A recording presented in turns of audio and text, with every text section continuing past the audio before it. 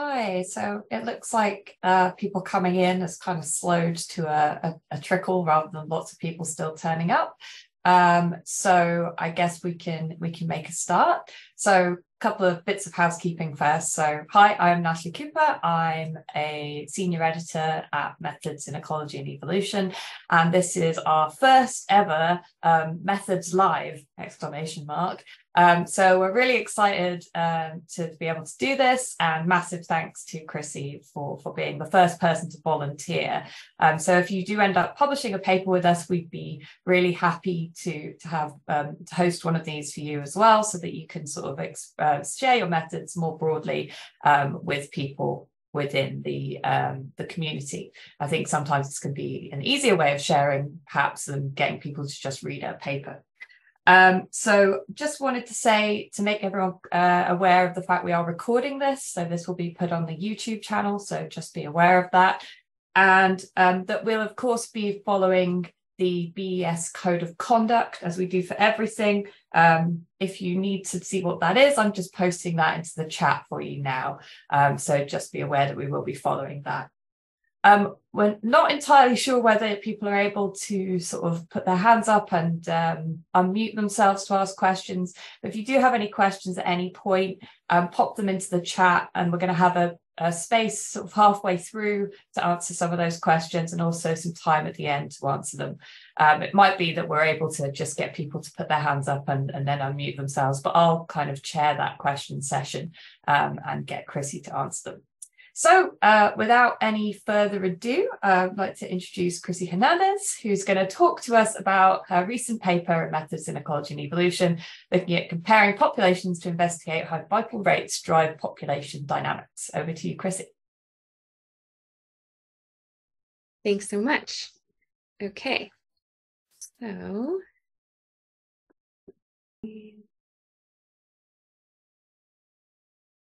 all right, so share my slides.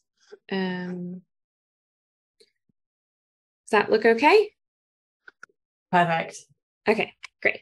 Um, thanks so much, everyone, for being here. Um, I'm really excited about this opportunity to talk to you about some recent work um, that I led in methods in ecology and evolution, um, particularly about an exact version of life table response experiment analysis and our R package. So there's a ton more information in the paper than what I'm going to cover today. I'm going to focus mostly on sort of skills today. I'm going to talk to you about um, the methods that we developed and in particular the R package. So if I go through this slideshow kind of fast, um, please forgive me for that. Um, you can rewatch it and you can go back to the paper to read some more. But I want to make sure that we have time to go through some examples. And I'm going to share my RStudio window and actually like walk through some tu tutorial examples. And that code is also available for you to download. I'll share the GitHub link when we switch over to that part. So um, the things we're going to cover today, I'm going to really quickly get us all on the same page about structured population models and then spend the bulk of this presentation portion talking about life table response experiments. What are they? What are the classical methods that have been in use for several decades? And then why do we need exact methods and what are they? Um, and I'll show you a worked example. Um, I'll also provide some advice for using exact LTRE methods and some of the input decisions that you kind of have to make to use the functions that we have. And then um, I'll pause in the middle for some questions, and then we'll switch over to looking at the R package itself. So uh, matrix models connect census data to population dynamics. Really briefly, if you were a researcher who studied penguins, you might go in year one and take a census and count how many fluffy brown juveniles there are and how many adult smooth um, swimmer penguins there are. But you can't stay in Antarctica all year. And while you're gone over the winter, um, all kinds of processes take place.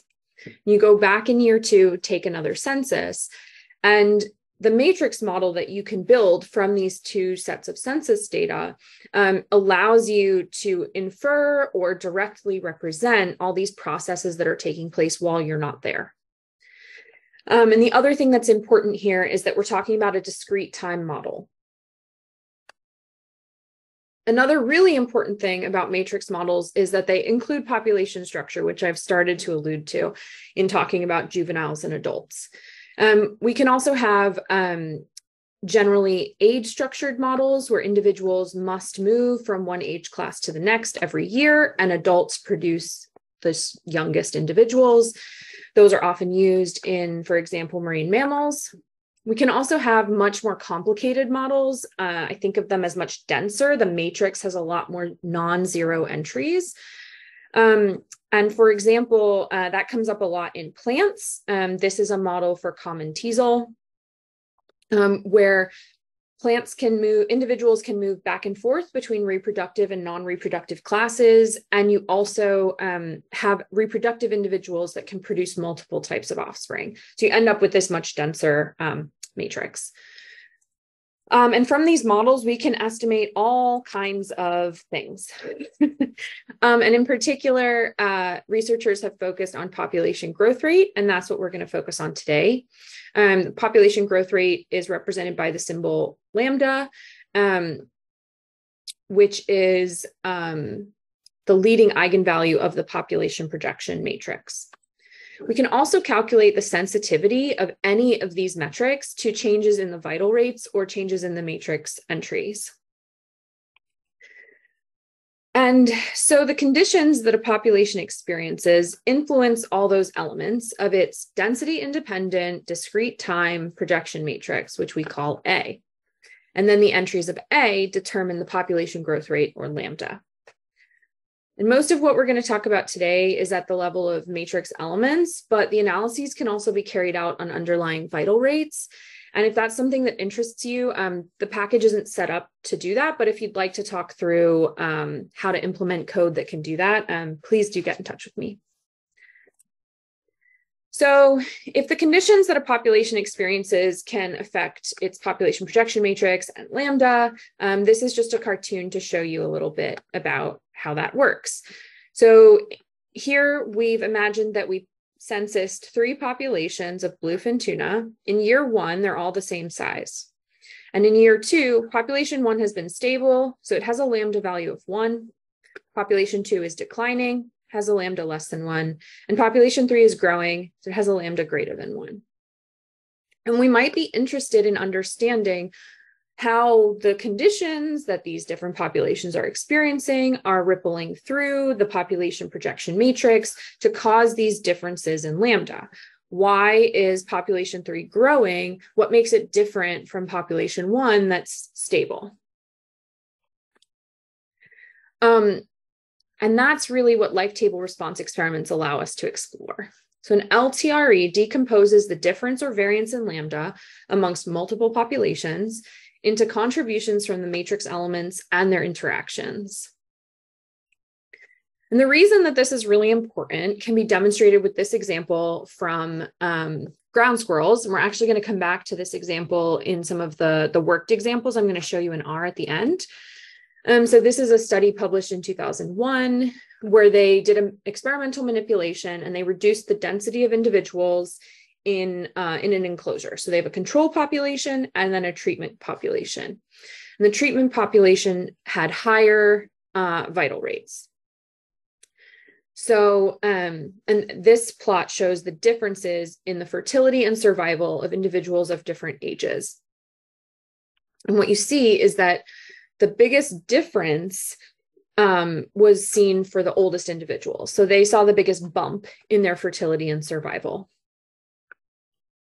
But once we take into account the sensitivity of lambda to those various vital rates or entries in the matrix, what we actually end up seeing is that the contributions to the difference in lambda are greatest from the early life terms. So, despite having really small differences at ages one and two, those differences, because lambda is so sensitive to them, actually contribute the most to the difference in lambda between the treatment and the control populations. So this is really the power of an LTRE is that you take into account the observed difference or variance in those matrix elements and the sensitivity of lambda to those matrix elements. And we'll be focusing on two types of LTRE.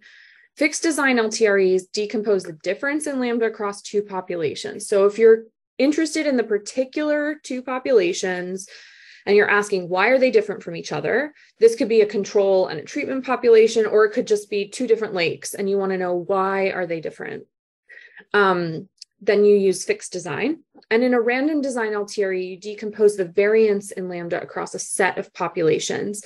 And in this case, you're not as interested in the particular settings or conditions of each population, and you're thinking of them as random samples from a large space of possible conditions that a population could experience. And it's important to note that these methods were introduced into ecology by Hal Caswell in 1989 and 1996.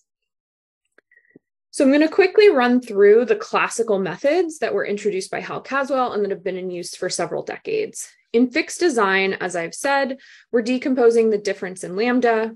So we have lambda of a treatment matrix denoted M and a reference matrix denoted R.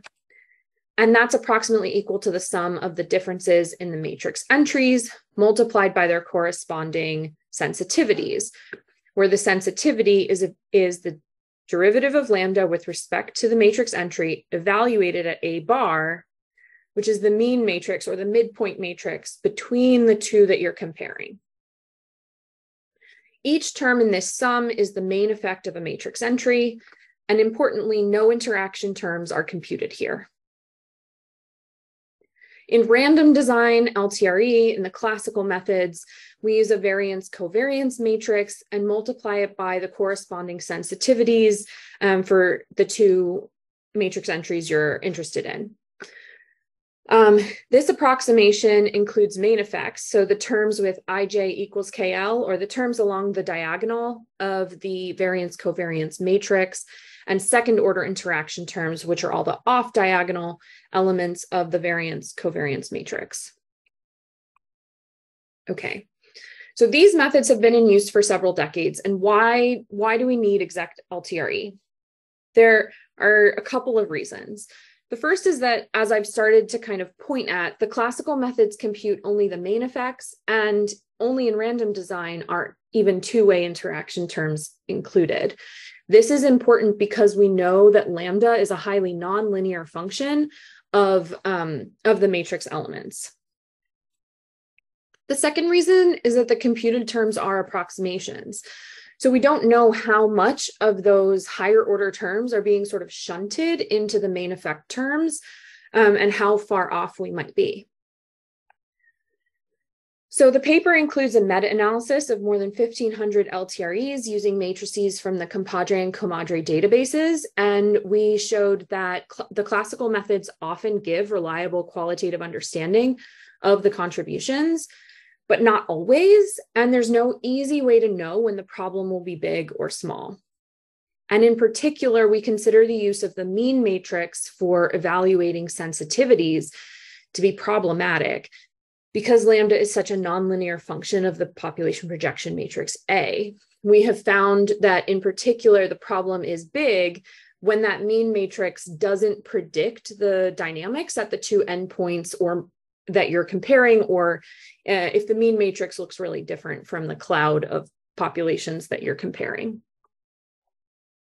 So I'm now going to move into showing you an example of how to do exact LTRE. Um, rather than showing you equations, um, it's kind of a um, like a numerical method as opposed to a closed form analytical method.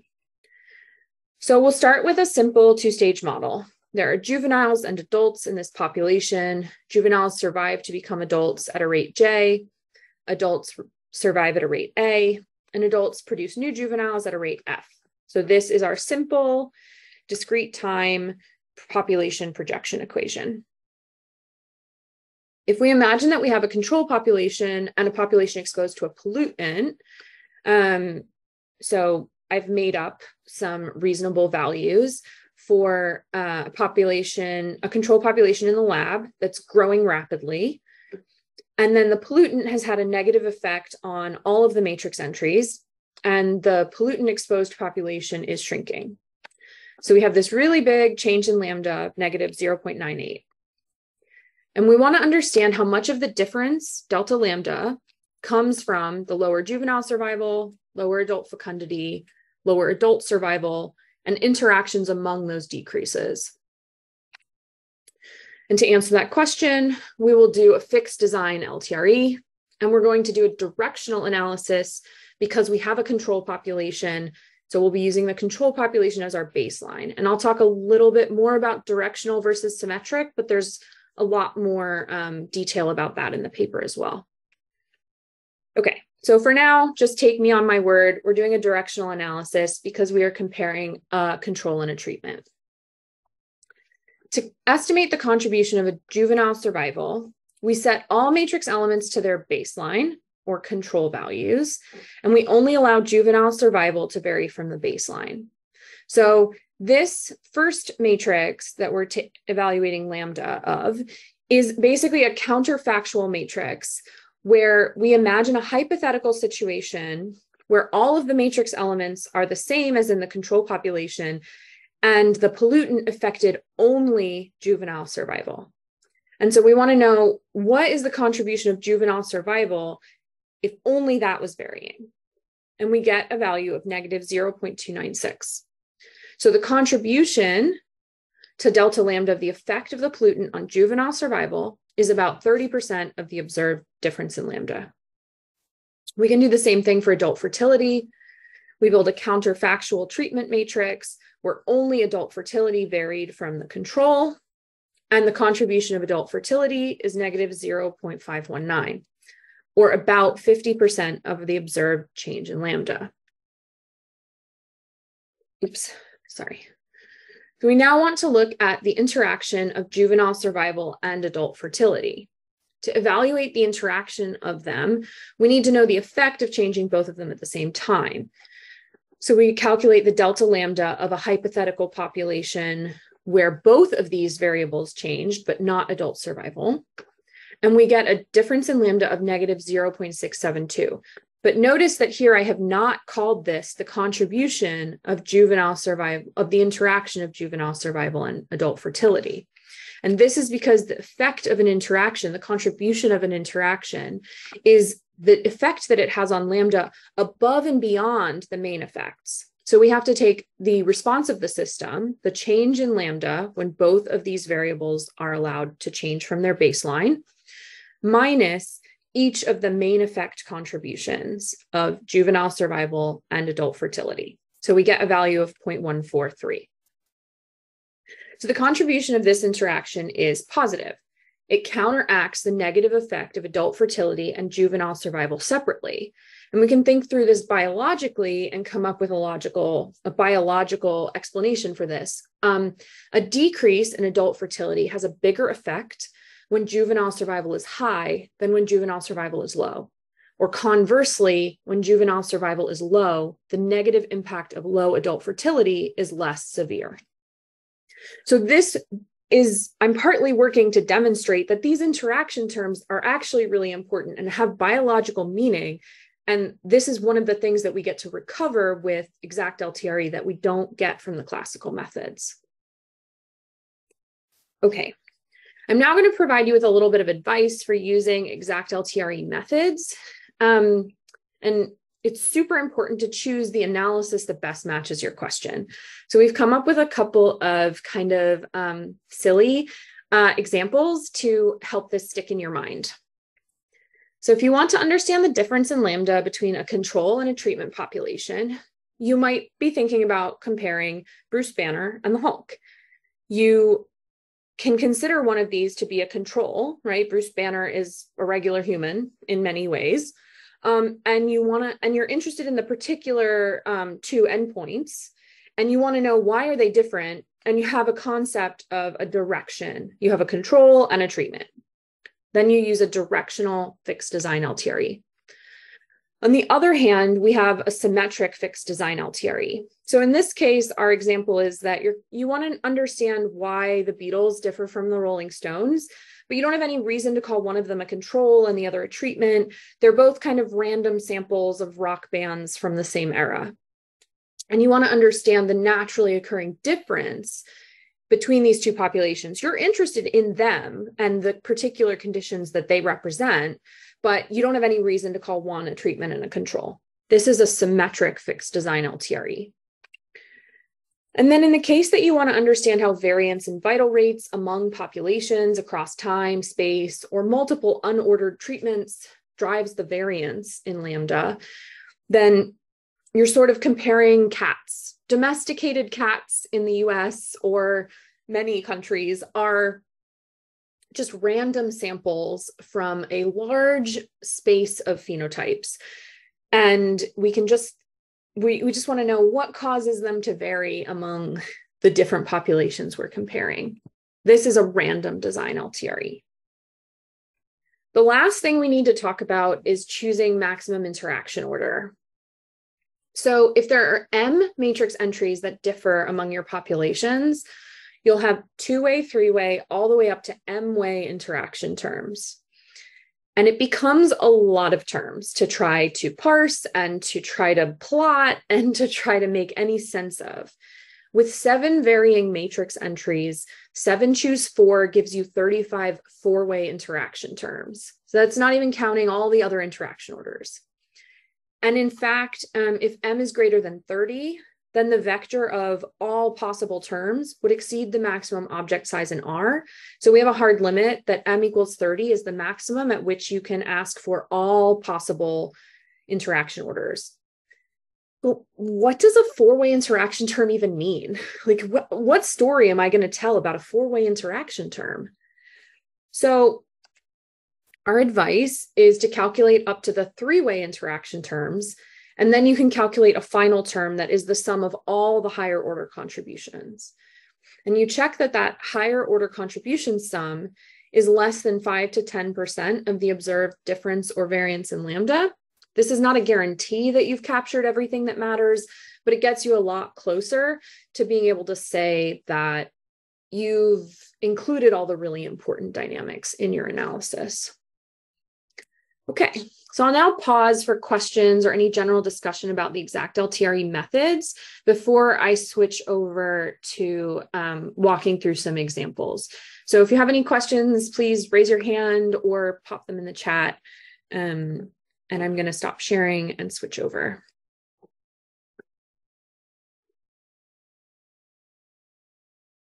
Yeah, anybody got any questions?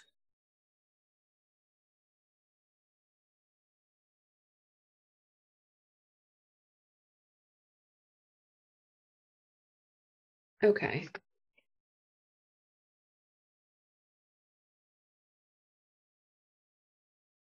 Well, great. Um, I'm going to switch over to RStudio and um, you can download the code here. Um, if you downloaded it earlier, I have made a couple of changes, um, but you do not need to follow along. Um, I'm going to share my screen. Um, it's just so that you can play with it later. Okay. Um, Natalie, can you let me know, does this look big enough? Uh, I might make it a little bit bigger in case people are looking on laptops.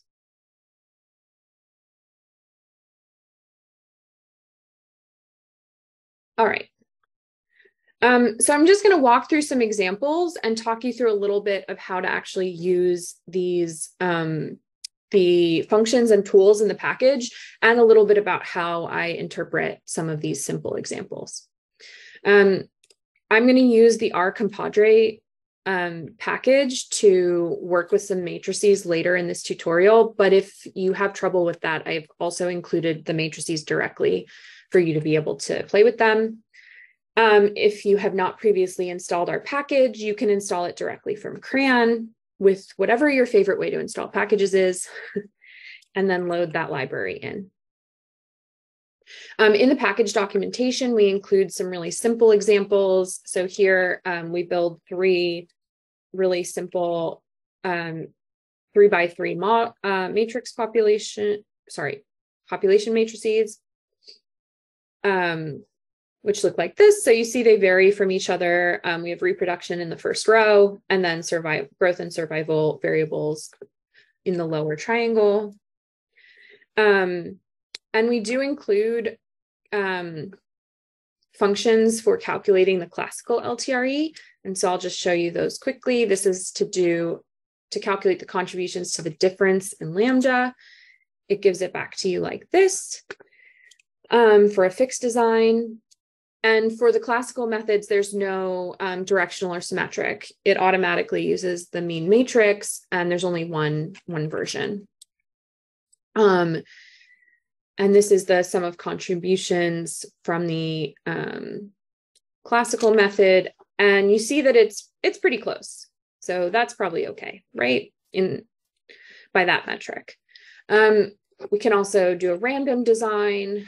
Um, and that gives you this expanded matrix where, um, so these this is the matrix of contributions. Along the diagonal is the main effect terms, and on the off diagonal are the um, second order interaction terms. And there's a lot of zeros because um, it's defined by position in the matrix. So um, this it counts column wise. So this is element two, element six, seven, and nine. And so there are non-zero values in columns two, six, seven, and nine. Um, okay, we can look at the sum of contributions from the classical method and compare it with the true variance in lambda. And in this case, we see that's probably not, that's not so great. Okay, if we do these instead with the exact method.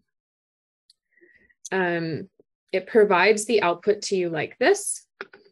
So um, these are the indices that vary to correspond with each of the contribution estimates.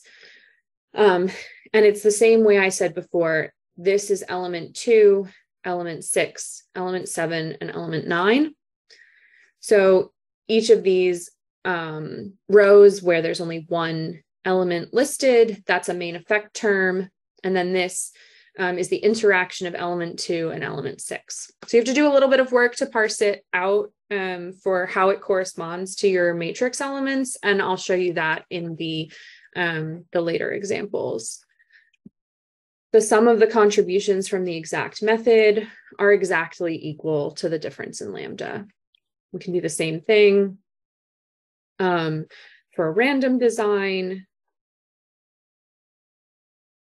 And we see that the sum of contributions is exactly equal to the true variance in lambda. Um, I'm not going to run through these, but I've also included a couple of examples. Um, the package includes calculations for generation time, R naught, expected lifespan, um, and you can play with those examples uh, later if you want to. So let's move on to some examples with Compadre.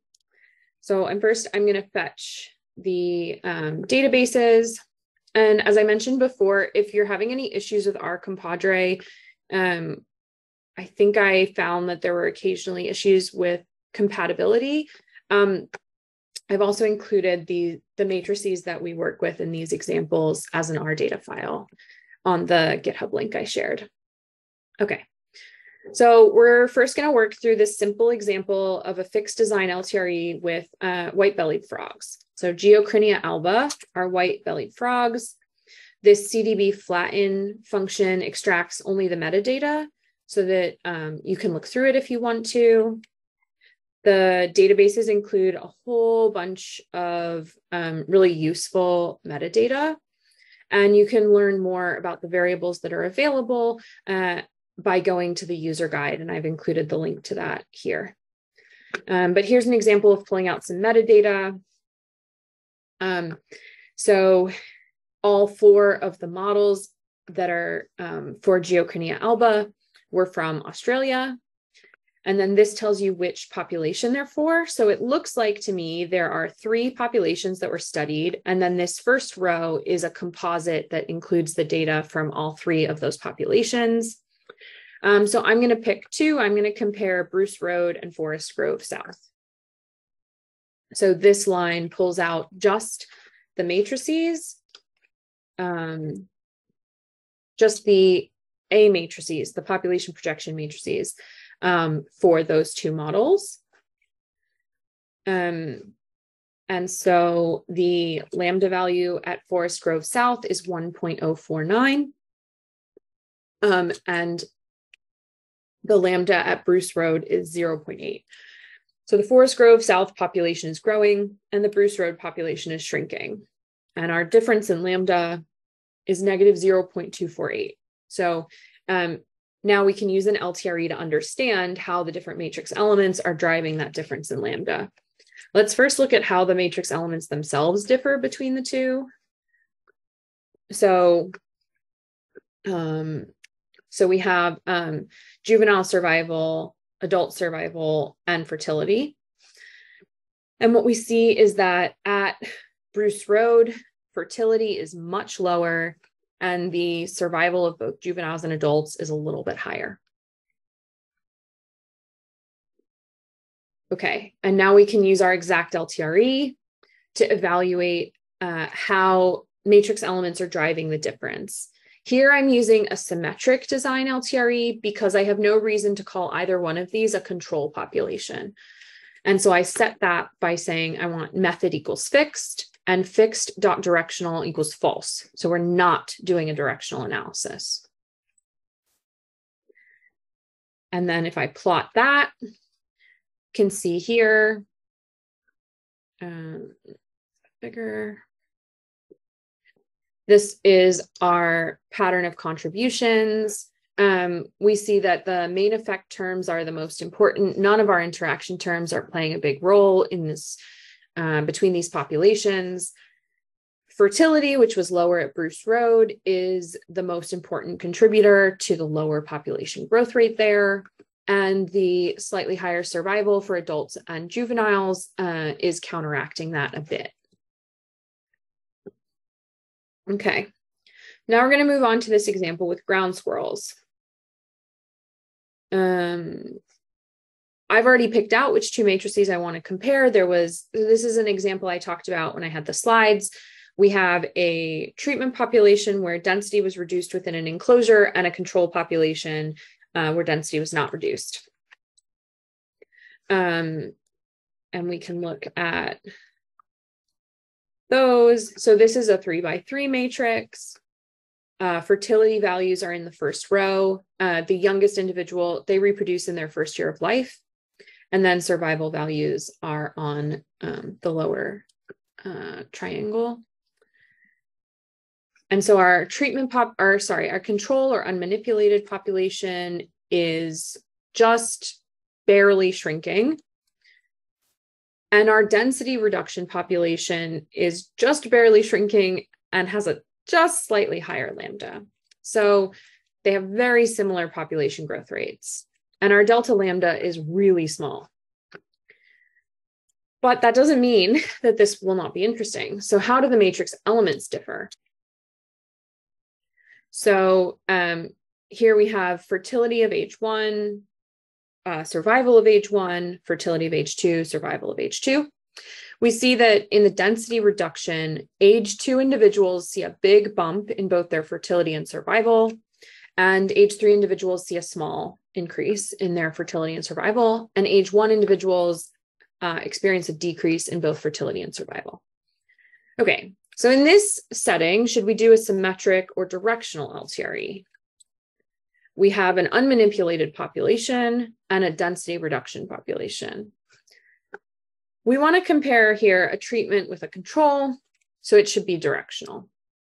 And so we set that um, using method fixed this has six pop um, six matrix elements that varied. So we're gonna try doing the maximum number of interactions is maximum interaction order is three. And we do fixed directional is true. We want to do a directional analysis. Um, and then I've written this uh, very ugly uh, object that is all the X labels so that we can read this plot.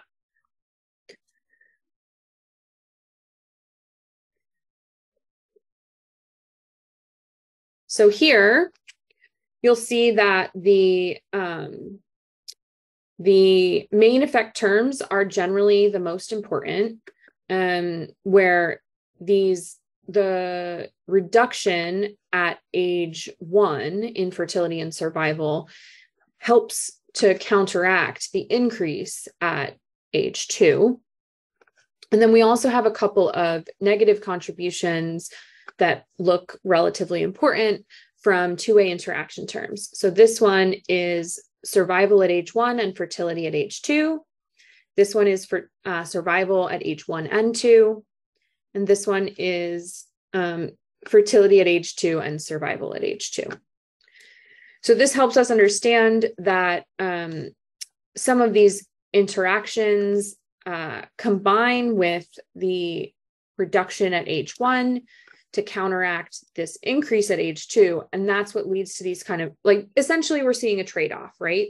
Where the actual lambda is very stable. Um, it's very similar between the two treat the control and the treatment but we actually have pretty big contributions that are kind of canceling each other out. Um, our difference in lambda is 0.0009, but these contributions are 0.15. They're several orders of magnitude bigger than their sum once we add them together. We'll also check here that the contributions are within about 5% of the true variance in lambda. And we find that they are very much not. because the difference in lambda is so small, a little bit, being off by a little bit looks really big. Um, and so here we see that the maximum interaction order of three was not sufficient, and we would need to go back and reevaluate what to do about the higher order interaction terms. I haven't written that out here, but we'll um, we'll look at that in another example. I've also written some code here to look at how the interpretation changes when we switch between symmetric and directional LTRE, um, but I'll leave that for you to play with on your own. Okay, the last example is a random design LTRE. So here we're going to use Alliaria petiolata or garlic mustard. And there are three populations. So um, all three of these matrix matrices are from the Ives Road population, and they're from three subsequent years.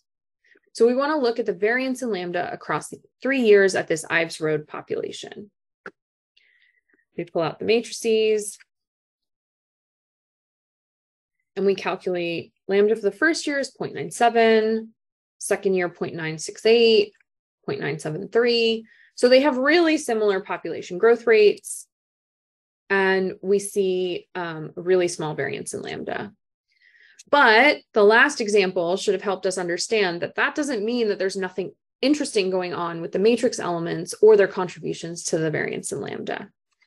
So we calculate the variances in each of the um, matrix entries. Oh, I should show you one of the one of the matrices. They look like this. It's three by three um, and what you're actually gonna, what this actually is, there are seedlings, rosettes, and flowering individuals. Seedlings survive and stay seedlings with a high probability. They progress to rosettes at a very low rate. Rosettes progress to flowering individuals also at a fairly low rate. And once individuals flower, they die but flowering individuals produce both seedlings and rosettes. Okay, let's look at how these vary. So this is survival of seedlings, growth to rosettes, growth to flowering, the production of seedlings by flowering individuals, and the production of rosettes by flowering individuals. And you see that the big, the only one that really varies is by a by a lot is um, the production of seedlings by flowering individuals. So now we run our exact LTRE. We get a couple of warnings, but those are because the reproductive in- individuals can produce two types of offspring. And this warning is just to prompt you to double check that your uh, matrix is specified correctly. Um, but because we have two different types of um, offspring, uh, we get that warning, but it's not a problem. Okay. So now we plot our results. Oh, that didn't work. Um, sorry about that.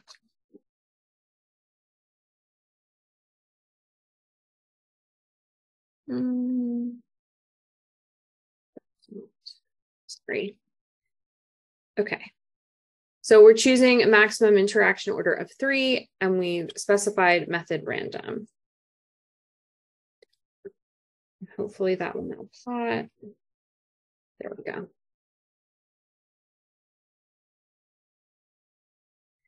Okay. So this tells us that even though the production of seedlings by flowering individuals was the most variable um, element, it's not the most important element for determining the variance in lambda. Even though growth of flowering individuals didn't look like it varied as much, um, it actually contributes the most to variance in lambda. And that is counteracted by these um, interaction terms between the growth to rosettes and growth to flowering individuals and the growth to flowering individuals and production of rosettes. So again, this is kind of a story of trade-offs where this population is uh, not showing a lot of variance in population growth rate between years because of the ways that the, the changes in matrix elements kind of balance each other out the way that they co-vary and the the way that lambda depends on their interactions. Let's check again that the contributions are within about 5% of the true variance in lambda. That's not looking great that's really not looking great okay so we definitely need to do maximum interaction order is all so let's check that.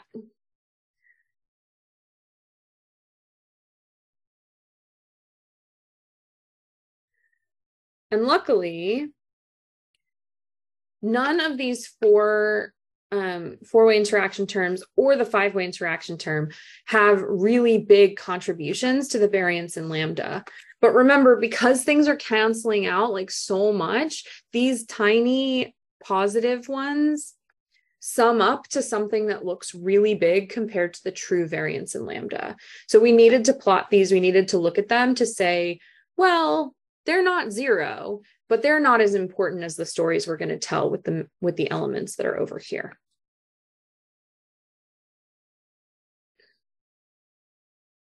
Okay, and that is the end of what I wanted to share. So, um, yeah, now we can take questions and discussion. Great. Thank you so much, Chrissy. Um, remote like clapping noise. um, so we had a couple of questions that came through a little slow at the halfway point. So I thought I'd wait till you're finished. So one question was, can you use this method for other features other than Lambda? Um, you absolutely can use the method for other features, but that is not written into the code. Uh, if you want to do that, um, please definitely get in touch with me. Um, I'm interested in expanding the package to have more broad functionality like that. Um, and collaborating with someone would be a great excuse to uh, do some more software development. Cool. And then another question was Is the difference going to always be exactly the same as the true difference? Or I guess it will be the case when you consider all possible interactions. Yeah. So um, there's this like subtlety about the term exact. So when you calculate every possible interaction term, then yes, it will always match the true difference or variance in lambda. When you choose a lower interaction order, you can calculate that additional term that is the sum of everything bigger than that but because terms can be positive and negative it you know like you might lose a little bit. Um but we still it's still important to remember that each of the terms you are calculating is exactly correct in the sense of this this simulation approach. So it's based on this um framework called FANOVA that we talk about more in the paper, but I haven't really talked about today, which um, is a is functional analysis of variance. It allows you to look at these really nonlinear functions and evaluate how much these different features contribute to them. So I, I hope that answers your question. And yeah, your intuition is right that when you consider all possible interactions, you'll always get the exact difference back. Uh, did anybody else have any questions? give people a few minutes in case people were typing. Um, just to note to people, I know sometimes when you come in a little late, you can't see the chat from before that. So I've pasted the GitHub link again, just in case anybody missed that. Um, yeah, I mean, feel free to, to pop a hand up if you'd like to just shout your question out. Or even pop a hand up if you're in the process of writing a question so that we don't disappear.